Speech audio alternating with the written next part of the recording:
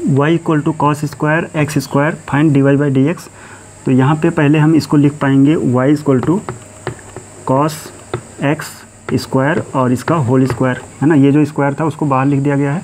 और अब यहाँ से पुट करेंगे x square equal to t ठीक है?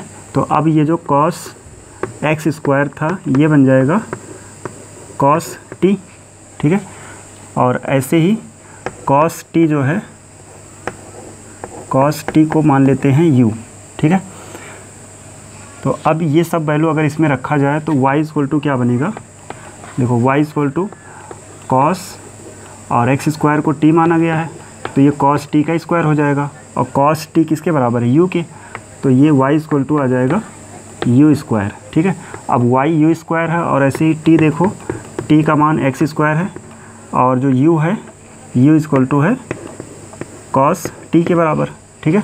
अब इन सब का अलग अलग डिफ्रेंशिएशन करेंगे, जैसे कि y का u के रिस्पेक्ट में, t का x के रिस्पेक्ट में और u का t के रिस्पेक्ट में, ठीक है?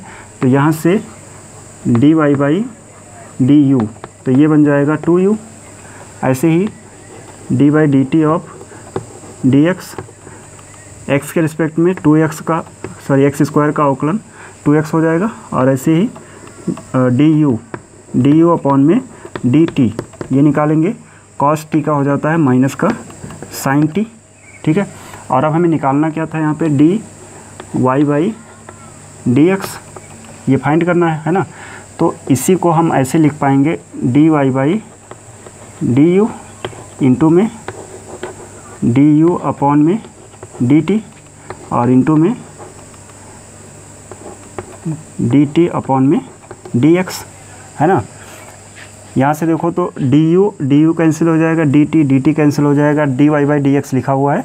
और अब ऐसा करने से क्या हुआ? D y by d u हमने निकाला यहाँ पे टू यू है इंटू में d u upon d t d u upon में डी टी ये माइनस का है sine t sine t minus आगे लिख देते हैं। और इंटू में d t upon d x ये टू एक्स के बराबर है, ठीक है? अब इन सबको सॉल्व किया जाए तो टू और टू का मल्टीप्लाई हो जाएगा माइनस का यहाँ फोर यू है, यू को लिखा जा सकता है कॉस टी कॉस टी और ये है साइन टी और इंटू में एक्स है अभी, है ना? और अब यहाँ से देखो तो अगर हम इसमें से एक टू इसको दे दें, यानी two cos t sine t तो ये बन जाएगा। तो ये बन जाएगा माइनस का टू साइन टू टी और इंटू में एक्स ठीक है? और फाइनल में अब यहाँ पे लिख देते हैं d d y y d x equal to minus का टू और एक्स है ये वाला, और इसके बाद है साइन टू टी है, और टी की वैल्यू क्या है? एक्स स्क्वायर ठीक है? तो ये इसका फाइनल आंसर है।